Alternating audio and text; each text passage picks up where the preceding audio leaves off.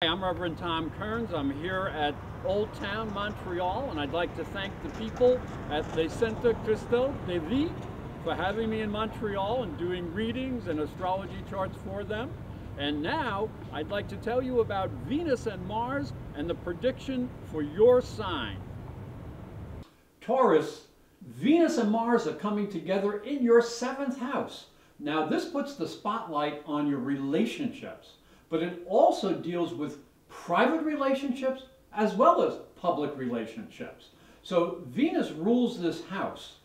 She's powerful here. She creates harmony here, but unfortunately she's in the sign of Scorpio, and that's not the best place for it. That's her sign of detriment.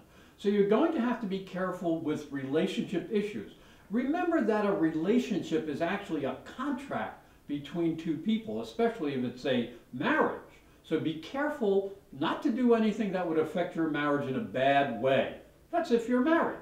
Now, if you're not married, there's a lot of passion hanging around, and you might just be able to put that into action. If there are any legal issues that you're involved with, take very careful action in them. Get legal advice if you need it.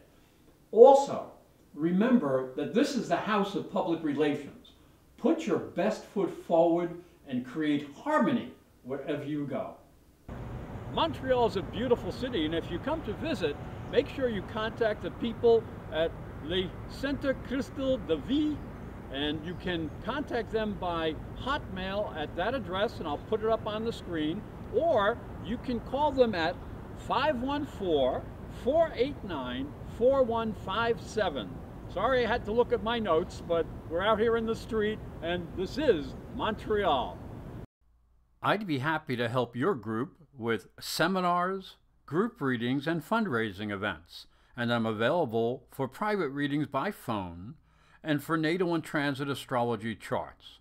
Just call 518 434 8727, 9 a.m. to 9 p.m. only, New York City time.